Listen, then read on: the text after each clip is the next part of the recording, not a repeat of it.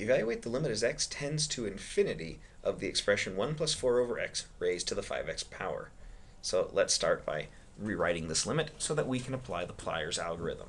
We're going to have 1 plus 4 over x raised to the power of 5x. As we let x tend to infinity, this becomes, in parentheses, 1 plus 4 over infinity raised to, well, the 5 times infinity power. So in the this expression is 0, so we have 1 raised to an infinite power, and that's type C indeterminate which means we need to rewrite the limit as an exponential. So we'll keep this as the limit as x tends to infinity.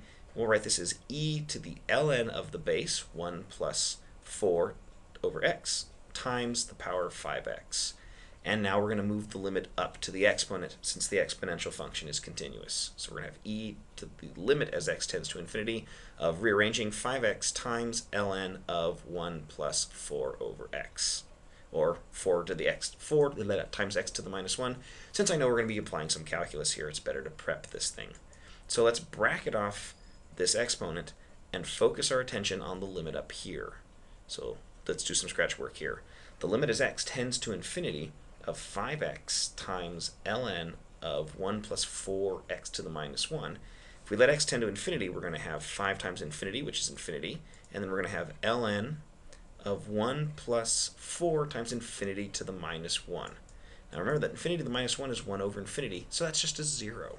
So we're going to have infinity times ln of 1, which is infinity times 0, and that's type B indeterminate. So a type B indeterminate form means we need to rewrite the original limit as a fraction. Um, since we've got an x to the minus 1 in the numerator, it makes sense to maybe bring the x out in front and write it in that same form. We might get a cancellation later on. So let's write this as, uh, as 5 times ln of 1 plus 4x to the minus 1, and we'll bring the x to below as x to the minus 1. Now we've got to check that this will work. We're going to have 5 times ln of 1 plus 4 times infinity to the minus 1 over infinity to the minus 1. Uh, we've seen that the numerator was 0 and the denominator is 0. Since it's 1 over infinity, that means it's type A indeterminate. And if you're type A indeterminate, you can be hit with the L'Hopital stick. So let's apply L'Hopital's rule. We're going to have the limit as x tends to infinity.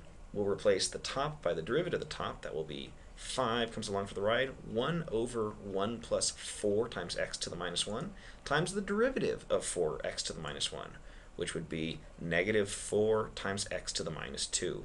The bottom will be the derivative of this, minus 1 times x to the minus 2, and there's our limit according to L'Hopital's rule. Now let's look for some simplifications and cancellations.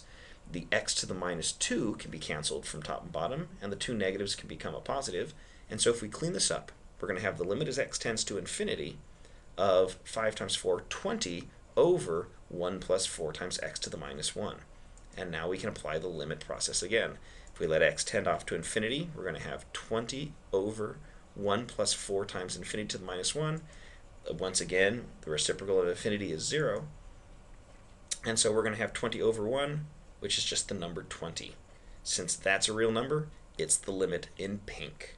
But remember, that's not the answer. That was just this part up here. If we replace what's in those brackets by 20, we get e to the power 20 as the final limit.